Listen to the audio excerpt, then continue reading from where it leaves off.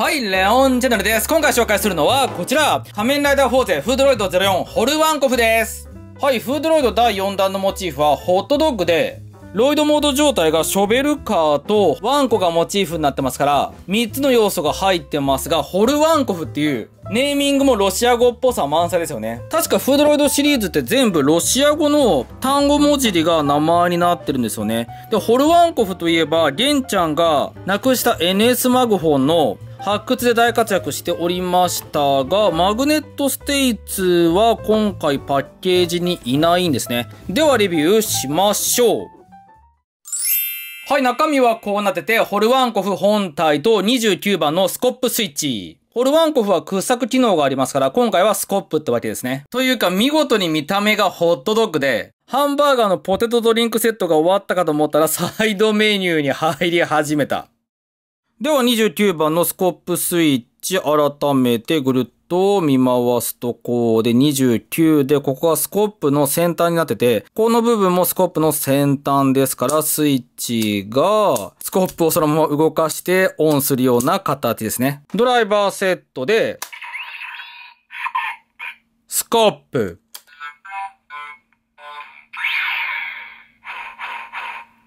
スコップオンで、掘削というかスコップを振り回すようなサウンド。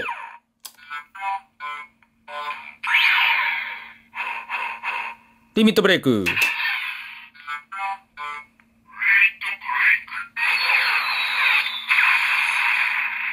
スイッチのセット状態の見た目は、こうですね。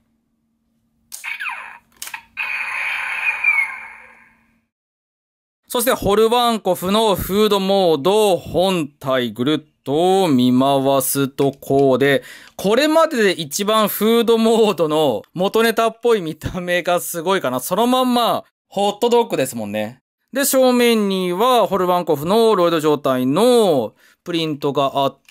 ここにレタスとウインナーでケチャップとマスタードが塗られているような形ですね。この状態で特に遊ぶことはできなくって、勇気が手に持っててこのサイズだったので、ちょうど本編1分の1かなハンバーガーのサイズ感と見ても、実際のホットドッグと大きさも変わりませんよね。このフードモードすごいな。では、ロイドモードに変形しましょう。まず、ヒンジがある方を上にして、バンズを下に倒します。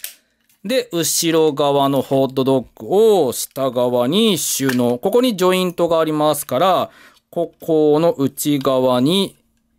この部分ですね、ロックするような形で、ショベルがここに格納されてますから、これを出してあげて、スイッチを後ろからセットしてあげれば、はい、ロイドモードが完成言うほどワンコっぽさはないんだけど、一応、ワンちゃんとショベルカーのダブルモチーフですね、ロイドモード。はい、全体をというか横から見るとめっちゃメカ造形がしっかり内部にあるんですよね。で、反対側も別パーツでデザインされてますし、ここに骨型のミサイルがあるんですよ。ワンちゃんだからね。引っ張ると取れるんですが、これがボーンミサイルで、骨型になってますからね。ここに射出口がありますから、ブスッと差し込むと、おっと、スイッチ、差しっぱだった。スイッチがない状態で差し込むと、ロックされるような形ですね。で、ギミックは、このボーンミサイルがはまった状態で後ろからスイッチをセットしてあげると、ミサイル射出。はい、こんな感じ。ザ・ボーイズ・トイって感じですよね。これはね、面白い。っていうか、ミサイルをセットすると、反対側からスイッチがポロッとね、おっと、かなり勢いよく射出されるような感じで、逆にこっちを発射することもできますね。スイッチがこのような仕組みになってて、ここがアストロスイッチで押されることで、ミサイル発射と。まあ、そこまで勢いよくって感じじゃないけど、それなりの速さで、ミサイルが、はい、出ますね。で、ミサイルは横にもう1個ありますので、マックス2個まで格納することができて、ここはしっかりとね、ロック入りますね。なので、2連射みたいなこともできるような形です。これ逆にセットしてから引っ張っても簡単に取れますから、スイッチをはめなくても脱着可能ですね。はい、スイッチはまった状態が正位置ですから、これスイッチオンオフはね、特にミサイル発射に関係ありませんね。で、この状態で、ここのショベル部分が根元から動くのと、それと先端もこのように動きますので、二重で稼働しますね。でも、クイックは、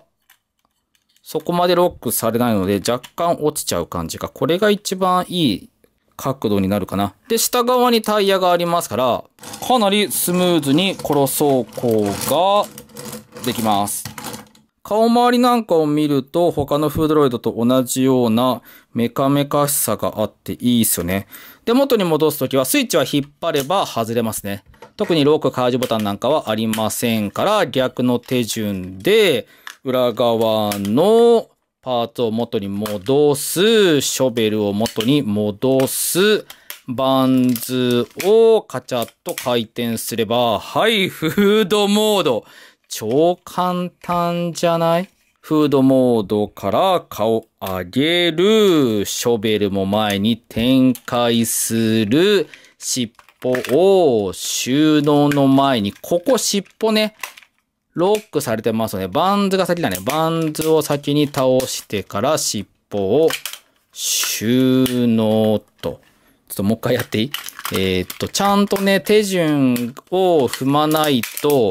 微妙に引っかかるんですよね。顔上げる、ショベル展開、バンズをひっくり返して、尻尾を曲げて、スイッチオンですね。これが正確な手順で、顔がね、さっきからパカパカしますけど、ここ特にロックなくて、ジョイントとかもありませんから、変形中に若干動いちゃいますね。でも、フラシキとかは、異常に変形ステップが簡単でもうこれで終わりみたいな。それに比べるといくつかのステップ数がありますので、変形玩具として遊んでる感はあるかな。戻す、戻す、戻す。まあ、適当でもね、あっという間に戻っちゃうんだけどね。このホットドッグを展開するとすぐメカになってるところとかが、食べ物の見た目から一気に雰囲気変わって面白いな。なのでこれまでどちらかというとネジをくるくる回して、何かギミックが発動みたいなことが多かったんだけど、今回のメインギミックはミサイル射出なので、ここもまあボーイズ問い的でいいんだけど、やっぱこれもネジ回して、ショベルカー走行だったりとか、ショベルカー稼働とか、そういうギミックでも面白かったのかなと思いますね。